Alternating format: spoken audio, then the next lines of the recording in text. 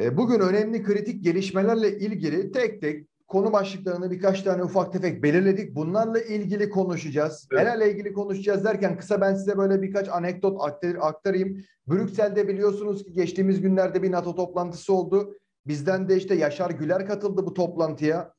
Bunun yanında bir NATO'nun Avrasya kuşatması ile ilgili belli başlı konular var. Buraları da değerlendirmemiz gerektiği konuları e, konuşmamız gerektiği düşüncesindeyiz. Finlanda, Finlandiya, İsveç konusu var. NATO üyeliğine başvurdukları herkesce biliniyor. Türkiye'nin de bu konuda bir takım istekleri var ve aslında Cumhurbaşkanı Recep Tayyip Erdoğan'ın blöf yapıyor denilen, dünyaca blöf yaptığı düşünülen en sonunda da NATO toplantısında resmen ilk vetosunu verdiği bir hadise karşımızda.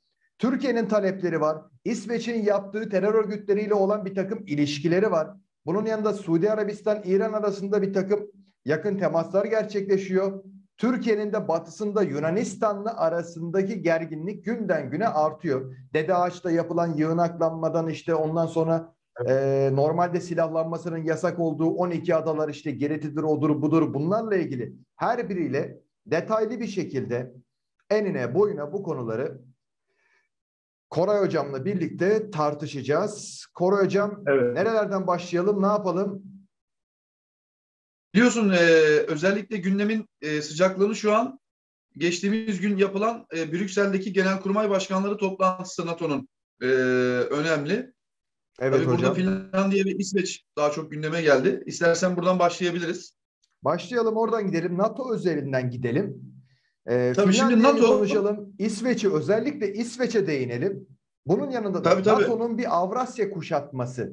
Bundan bakın bu çok önemli bir nokta. NATO'nun Avrasya kuşatması tabii. dediğimizde bugün yaşadığımız Rusya-Ukrayna savaşının da sebebinde yatan konulardan biri aslında bu. Doğru. NATO İkinci Dünya Savaşı sonrası ilan edilen sınırları aslında bakarsanız bu bana artık yetmiyor. Rusya sana vaat ettiklerinden biraz da bana ver diyerek aslına bakarsanız doğuya doğru kaymaya çalışıyor. Burada işte İsveç'i, Finlandiya'sı, Ukrayna'sı, Polonya'sı bir takım ülkeleri bünyesine çekme derdinde. Bu da Rusya'yı rahatsız ettiğinden dolayı bugün Ukrayna-Rusya savaşını biz yaşamaktayız. Bunları da tek tek konuşacağız. Özellikle İsveç hakkındaki düşüncelerini çok merak ediyorum Koray Hocam. Neler demek istersin? Tabii. Şimdi şöyle e, zaten İsveç ile Finlandiya'nın NATO'ya alınma hususunu e, biz günler öncesinden bu biliyorsun Politalk e, YouTube kanalına kanalımıza videolarda söylemiştik. Ben o zaman dört gün önce çektiğim videoda yani bu olaylar çıkmadan dört gün önce çektiğim videoda özellikle NATO'nun cepheyi genişletmek adına yani Rusya'ya karşı hem cepheyi genişletmek hem de Avrasya'ya tümden bir kuşatma uygulamak adına Finlandiya ile İsveç'in özellikle Finlandiya'nın sınırı olduğu için Rusya ile özellikle Finlandiya'nın bu anlamda e, NATO'ya alınması söz konusu olabilir demiştim. İnşallah demiştim. Bak aynen böyle söylemiştim. İnşallah umuyorum ki dedim. Türkiye bunu veto edecek dedim. Veto etmeli dedim. Nitekim üç gün sonra Sayın Cumhurbaşkanı açıkladı. E, kesinlikle dedi biz olumsuz bakıyoruz dedi. Daha sonraki yaptığı açıklamaları biliyorsun. Yani yorulup gelmesinler ısrarla veto edeceğini ısrarla söyledi. O zaman söylediğimiz hususta haklı çıktık. Yani Türk devlet aklı kesinlikle ve kesinlikle e, NATO'ya özellikle İsveç üzerinde PKK'yı, YPG'yi, PYD'yi meşrulaştırıp liderlerini fonlayan, orada bunlara resmi dernek açan, bak resmi dernek açan, ofisler açan bir devletin NATO'ya katılması demek Türkiye açısından milli güvenliğini tehdit edici bir unsur demek. Yani zaten NATO'nun içinde sözde müttefiklerimizin nasıl tırlar dolusu efendim PYD'ye, YPG'ye silah gönderdiğini biliyoruz. PKK'ya nasıl destek olduğunu biliyoruz. Belçika'sı, Almanya'sı, şusu, busu, Hollanda'sı hangisini sayalım? E şimdi Hangisini NATO sayalım? Aslına bakarsanız bu sadece İsveç özelinde bir şey değil. Tabii canım. Ama ben şunu İsveç'i biz daha konuşacağız. Bunun üzerinde çok konuşmamız lazım. Şimdi tank savar füzeleri falan ele geçti falan filan da yani şimdi PKK'ya destek vermeyen herhangi bir Avrupa ülkesi kaldı mı diye de düşünmek lazım yani. Başka bir NATO ülkesi var mı Türkiye'ye risk teşkil eden terör örgütlerine destek vermeyen diye. Bunları çok konuşmak, az. düşünmek çok lazım. Çok az. Yani Macaristan Ama gibi acaba, ülkeler var işte. Koray Hocam, Türkiye Cumhuriyeti Devleti 80 yılını Batı ile ilişkilerini her zaman iyi tutmak için çabalamış bir ülkeyken bugün Maalesef. İsveç'e ve Finlandiya'ya karşı veto kararını vermesinin ardında Avrasya'ya doğru bir kayma, bu bloğun o Evet. tarafa doğru yakınlaşması gibi bir konu vuku buluyor mu acaba? Ben bunu merak ediyorum. Çok güzel bir soru. Yerinde bir soru Tayfuncuğum. Özellikle bunu şöyle söyleyeyim. Ben yıllardır beni takip eden takipçiler de bilecektir.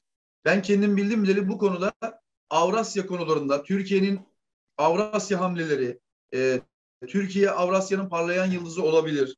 Türkiye'nin derin kökleri ve mirası Avrasya'ya uygun. Türkiye Avrasya'da hak ettiği değeri bulabilir diye yıllardır bir sürü makale yazdım. Bununla alakalı canlı yayınlarda konuşmalar yaptım. O dönemlerde bizi efendim bu Avrasyacı, bu şucu, bu şucu ben ocu bucu şucu değilim. Hep söylediğim bir husus var. Ben olaylara Türkiye cephesinden bakıyorum. Türkiye cephesinden baktığınızda aslında olayların e, nasıl Türkiye Türk devlet aklının bir planı çerçevesinde ilerlediğini görebiliriz. Türkiye'nin şimdi yavaş yavaş bakın Türkiye bu anlamda 15 Temmuz 2016'dan itibaren tamamen bir devlet aklıyla yani 2200 yıllık Türk üst aklı dediğimiz akılla Avrasya bloğunda tarihi bir mevzilenme içine girmiştir. Ve bugün gelinen noktada Avrasya'da biz kesinlikle ve kesinlikle hem meşru anlamda hem askeri anlamda hem ekonomik anlamda pek çok anlamda artık o mevzilenmenin içindeyiz. Türkiye bu anlamda çok kararlı adımlar atıyor.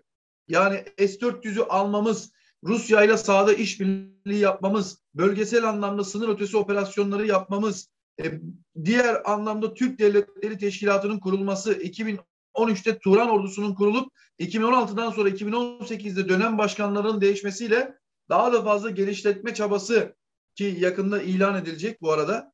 E, Turan ordusuyla alakalı da yeni gelişmeleri görecek Türkiye. Büyük bir Bunu da ihtimal konuşmamız e, lazım herkes- aslına bakarsan. Bak biz bunu Evet. konular arasına dahil etmedik ama o Tabii, konudaki fikirlerini de şu anda merak ettim. Yani Kısaca şunu diyorsun herhalde. Şunu şunu İzah bilmemiz lazım. Tayfun. Şimdi Avrasyacı olarak nitelendirilen ya da başka bir şey ocu bucu falan dedin ya Türkiye penceresinden bakıyorum. Biz 80 yılımızı Evet. Batı'ya entegre olmakla mücadele ederek geçirdik aslına bakarsan. Biz Batı'da neredeydik? Tabii. Yani Batı'nın içerisinde bizi nereye konumlandırıyorlardı? Biz orada önemli bir aktör müydük yoksa bir kukladan ibaret miydik? Avrasya'da biz nerede olacağız? Şimdi Tayfun şöyle biz e, batıda kapının önündeydik. Tamam yani kapının önündeydik. Biz hiçbir zaman içeri Evet giremedik. Bizi yıllardır bak bir örnek vereyim çok önemli. Efendim Avrupa Birliği kotaları. Hani bu 90'lı yılların ortalarında çok duyardık. Bir, bir- duymuşsundur bilirsin. Ne diyorlardı? Efendim işte şu kadar buğday ekeceksin.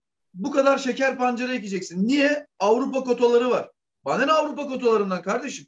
Yani ben Avrupa kotalarına göre mi burada tarım arazilerimi değerlendirip ekip biçeceğim vesaire.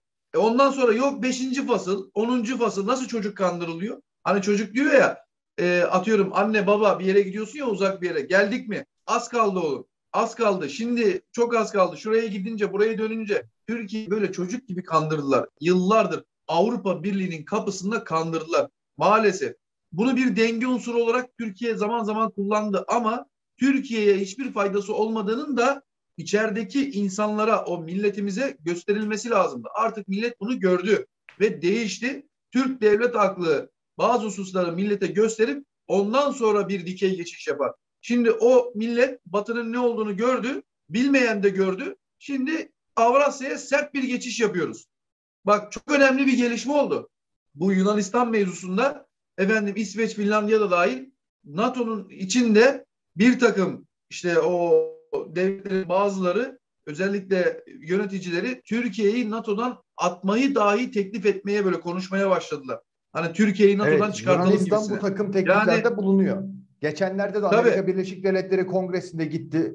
Yunan Devlet Başkanı, Başbakanı Mitsotakis dedi ki Mitsotakis. Yunanis- Türkiye sınırlarımızı ihlal ediyor. İşte uçaklarla Evet. defalarca kez ihlal Şikayet etti. Şöyle yapıyor, Ağlıyor böyle işte yapıyor. Biz işte Kıbrıs'ta da iki devletli çözüme kesinlikle karşıyız.